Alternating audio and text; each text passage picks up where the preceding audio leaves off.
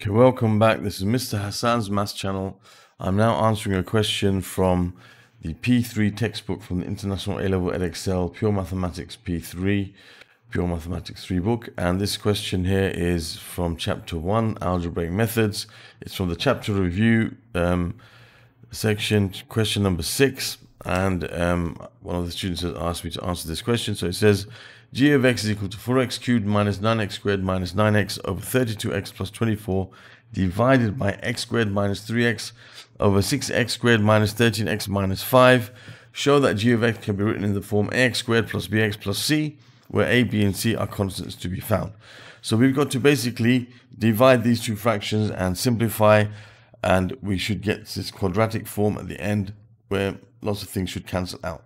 So what I'm going to do now is I'm going to, first of all, rewrite g of x so that I have a multiplication sign here. So of course we know that when we are dividing two fractions, then we can multiply the first fraction by the reciprocal of the second. So we have 32x plus 24. I'm going to multiply and then I can write this as its reciprocal. Okay, so that's the first step. Now what I'm going to do now is I'm going to try to factorize everything as much as possible. All right. So I can start off with this. I can see x is common. All right. x, 4x squared minus 9x minus 9. And here I've got 32 and 24. I think 8. 8 is the highest common factor. So I'll write 8. And then I'm going to write 4x plus 3 times.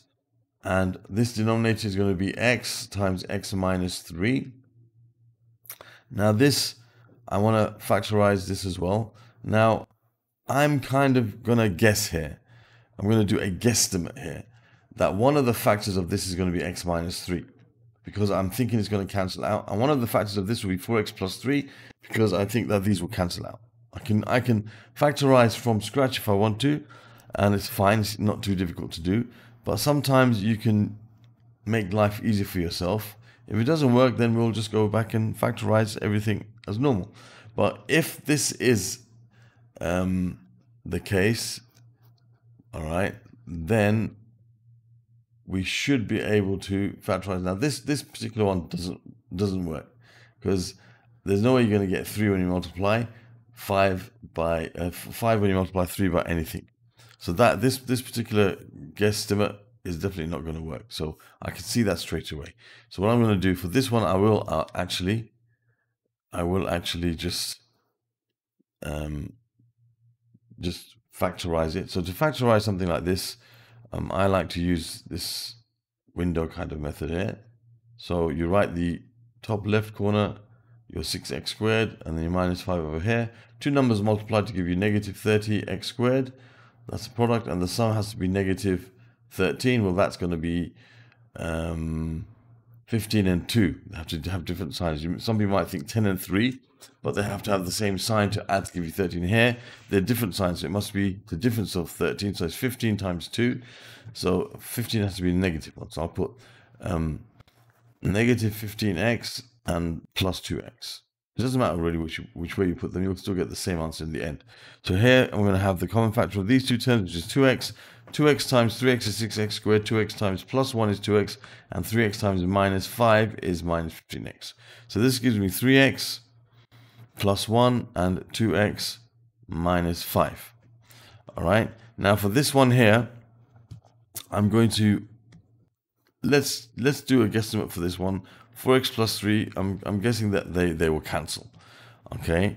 And I'm thinking the other one will probably be x minus 3 because these will also probably cancel. So I'm, I'm just doing a guess now, just by looking at the, the numbers that I see here or the other factors, because I know things will definitely have to cancel out because of the fact that um, we're going to end up with something like this.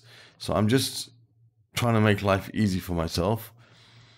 Okay, you don't need to show the steps of the factorizing, you have to just show that you factorized.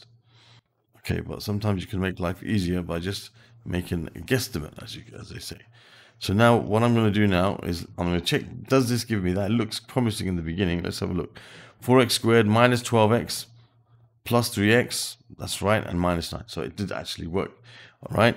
So now we can see here And if it didn't work, then I would have factorized this in the same way as that, just like we saw this wouldn't work. So I factorized like that. So now we can see the common factors. 4x plus 3 cancels out with this 4x plus 3. Anything, when you're multiplying two fractions, anything in any numerator and denominator can cancel out. So these two can cancel out. The x cancels out with the x, and you're left with the 8 underneath here. Okay, so you end up with, if you expand that, that's going to be 6x squared minus um, fifth, that's going to be minus 15x. I'm going to have plus 2x and minus 5 over 8. So that's 6x squared minus 13x minus 5 over 8, which gives us, in the end, we had to um, we had to just expand this in the end. Anyway, nothing cancelled out with it, right? So we ended up with this. So anyway, so now we're going to end up with they want it in the form ax squared plus bx plus c where they're constants. It doesn't say they're integers, so this is okay. We can write this as 6 over 8x squared minus 13 over 8x minus 5 over 8. So just simplify that. 3 quarters x squared minus 13 over 8x minus 5 over 8. And there's our answer in the form required. So this is another way of writing g of x. That's in simplest form after we've finished simplifying and dividing. So there's the answer for part A. Then it says part B, hence differentiate g of x and find inverse, sorry, not inverse, the, the differential of g minus 2. So you have to find, you have to differentiate this expression and replace the x with negative 2. So this is a simple differentiation from P1 where you multiply by the power. So it's 2 times 3 quarters, which is 3 over 2, x minus 13 over 8 okay, you multiply by power, take one from the power here, you just drop the x, the constant becomes zero. So we can say g2 is going to be, g negative 2, sorry, is going to be 3 over 2 times negative 2 minus 13 over 8. They cancel out, so you're left with minus 3 minus 13 over 8, which you can write this as over 8 minus 24 over 8 minus 13 over 8 that's minus 37 over 8. So we can say the, the differential of g, negative, negative 2 put in there is going to be negative 37 over 8. And there is the answer to part B. And that concludes this question.